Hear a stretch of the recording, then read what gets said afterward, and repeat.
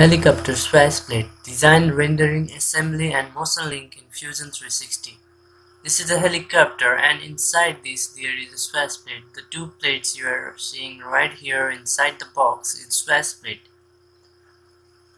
To design this in Fusion 360 I have divided it into six different components. You can see those components and their isometric views here respectively. It's very good that you imagine the isometric views of components before you start designing it. And here we go. We'll dive right into the time lapses of designing everything starting from the ball. Let's design it.